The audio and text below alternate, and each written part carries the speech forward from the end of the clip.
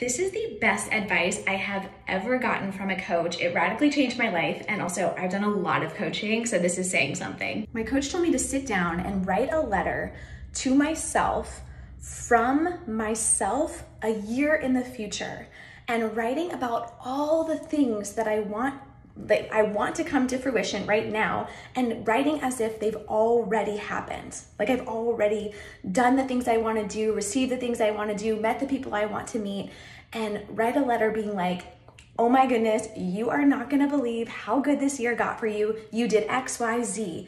And just write out everything like best case scenario. What would your life look like in a year from now?